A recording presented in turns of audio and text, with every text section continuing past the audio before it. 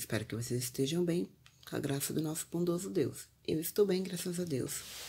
Meu nome é Leila Marques, para quem não me conhece, aqui do canal Veteríneo Tricô e Crochê.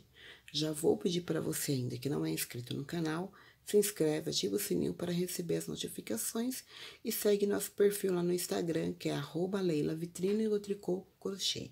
Na aula de hoje, nós iremos aprender um barradinho para iniciantes em crochê.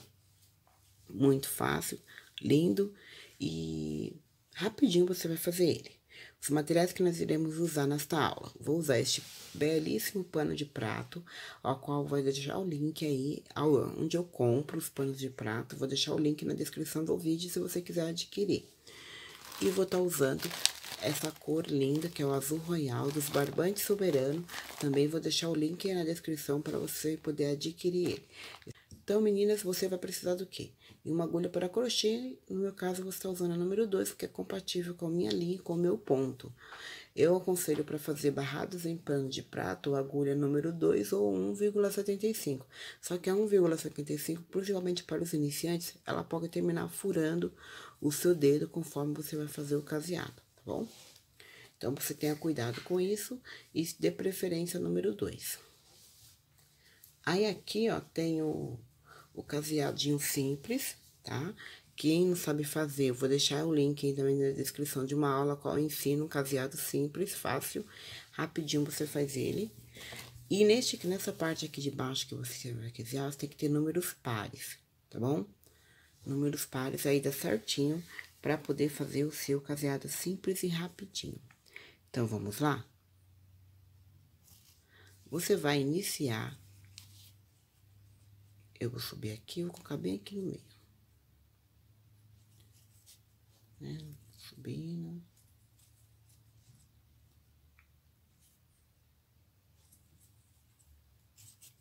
Iniciar meu paninho. Aí, aqui eu vou contar seis correntinhas. Uma, duas, três, quatro, cinco, seis. Se o seu ponto for muito apertadinho, você pode colocar até sete, tá bom? Sete a oito. Eu vou colocar seis.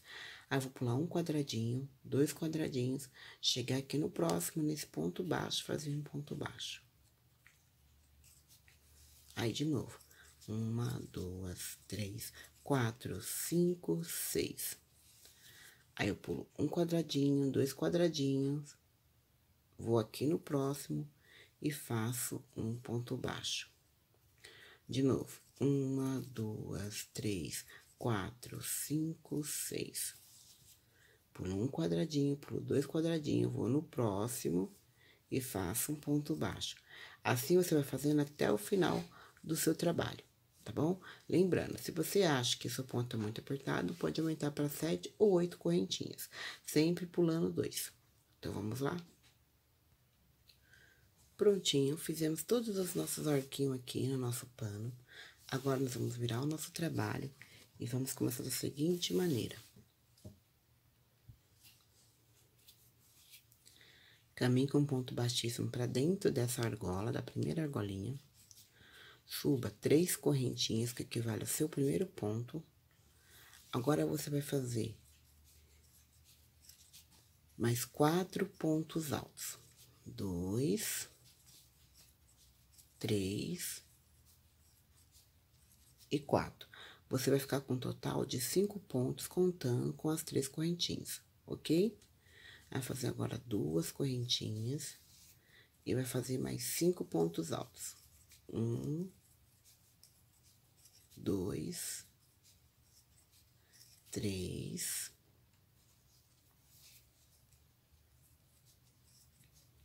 quatro, cinco. Vai vir na próxima argolinha e vai fazer um ponto baixo. Prender assim.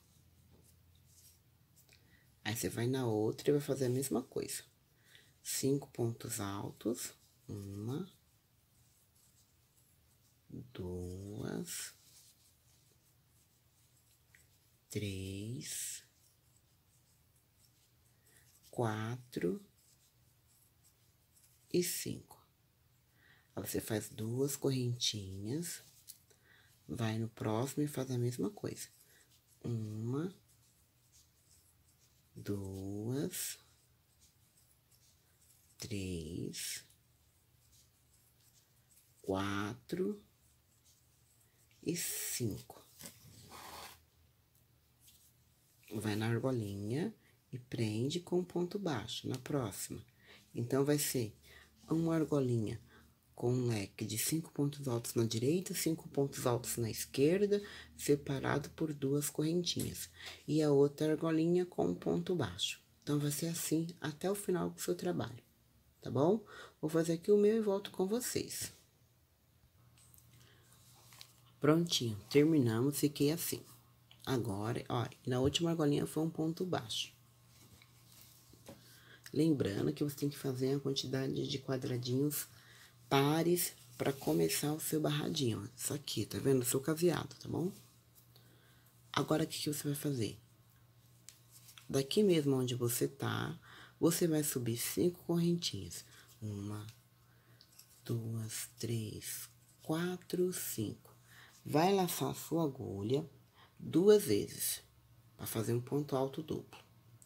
Aí, você vai vir aqui no seu, no seu, ó, laçou a agulha duas vezes, vai vir aqui no meio do seu leque, onde você tem as duas correntinhas, vai tirar uma vez, vai tirar duas e vai tirar três. Vai ficar assim. Aí, você vai subir três correntinhas e vai fazer um ponto picô. Vai laçar uma, vai laçar duas. Vai fazer a mesma coisa de novo. Vai tirar uma, vai tirar duas, vai tirar três. Vai subir uma, duas, três correntinhas e vai fazer o seu ponto picô. De novo, laça duas vezes. Aí você vem, tira uma, tira duas, tira três. Uma, duas, três correntinhas e faça o seu ponto picô. Lace uma, lace duas.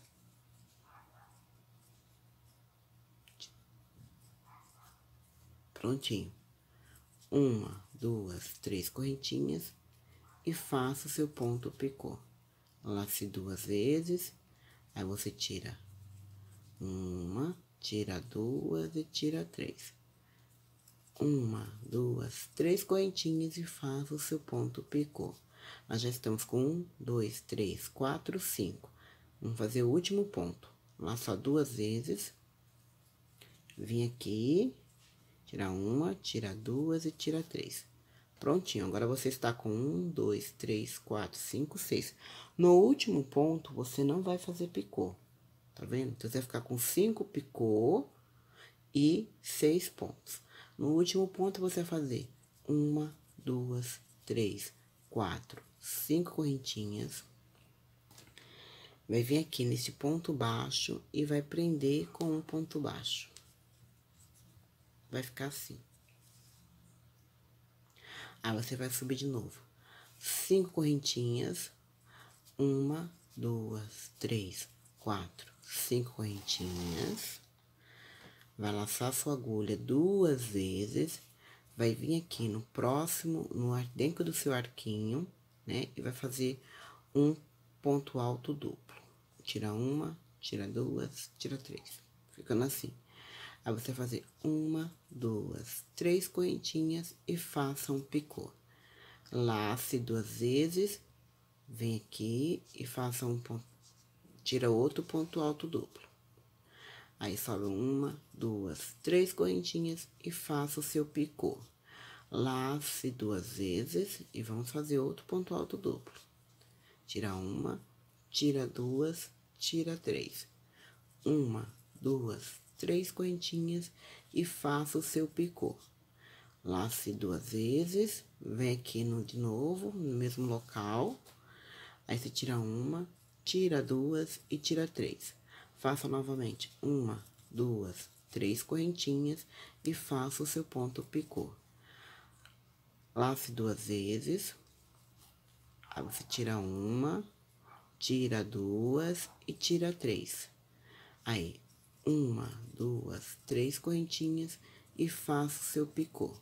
Agora, já estou com um, dois, três, quatro, cinco. O último ponto. Laço duas vezes tiro uma, tiro duas, tiro três. Nesse eu não vou fazer picô. Então, são seis pontos altos, seis pontos altos duplo com, com cinco picô. Um, dois, três, quatro, cinco. Agora, eu vou fazer cinco correntinhas. Uma, duas, três, quatro, cinco. Venho aqui no meu, naquele ponto baixo da carreira anterior e faço um ponto baixo. Tá vendo? Então, esse biquinho, ele é desta maneira. Vou encerrar aqui a minha carreira, vai ser assim agora. Você vai colocar cinco pontos altos duplos dentro de cada... Seis pontos altos duplos dentro de cada, cada leque, sendo que os cinco primeiros vai ter picô. Então, esse picôzinho, se você não sabe fazer, aí na descrição do vídeo, logo abaixo do vídeo, tá? Só clicar na setinha para baixo que vai aparecer todas as informações do vídeo. Você vai encontrar é, uma aula ensinando este pontinho, tá bom? Só você clicar no link que vai direto para lá. Vou fazer todo aqui o meu barradinho e vir mostrando para vocês como que ficou. Meninas, eu vou ensinar para vocês também é como que eu termino aqui esse meu acabamento, tá bom? Ó. Terminei aqui no meu último. Aí, eu vou fazer aqui uma, duas, três, quatro, cinco correntinhas. Vou aqui, bem na pontinha do meu último ponto alto, que no caso seria as três correntinhas. Faço um ponto baixo, ficou assim. Aí, agora eu vou fazer três correntinhas, uma, duas, três ou quatro, depende do seu ponto. Venho aqui onde eu comecei e faço um ponto baixíssimo. Vai ficar assim. Aí, eu faço uma, duas, três correntinhas. Pano de prata eu gosto de terminar assim, tá? Aí, eu venho aqui, pego essas duas perninhas aqui, ó. Faço um ponto baixíssimo, dou mais um ponto baixíssimo, corto a minha linha e puxo. Aí, aqui agora eu venho. Dou uma puxada bem. E também já corto aqui também. Então, aqui tá feito o meu acabamento, tá bom?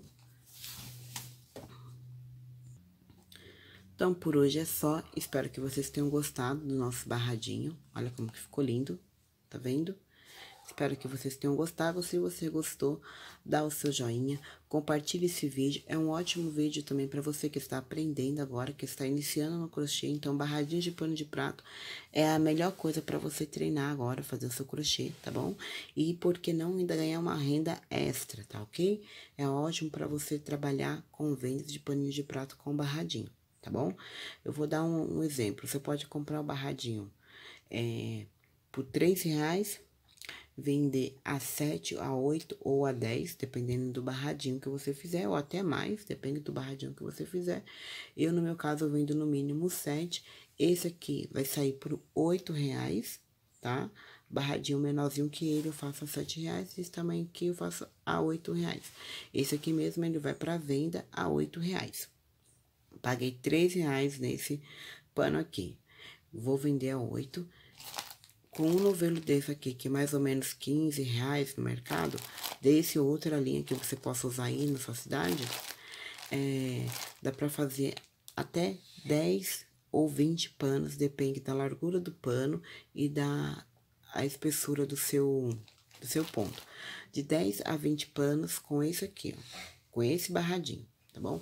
Então, é ótima pedida para você que está trabalhando com vendas e gostaria muito de começar aí no ramo do crochê tá bom? Então, fiquem com Deus, um grande beijo, um forte abraço. Deixa aí nos comentários se você tiver alguma sugestão de vídeo. Deixa aí no comentário o que você achou do nosso vídeo, tá? Se você fazer este barradinho ou outros aqui da nossa playlist aqui, que eu vou deixar também aí no canal, uma playlist com mais de 20 barradinhos. Você clica nela, você vai direto lá, tem barradinhos para você escolher.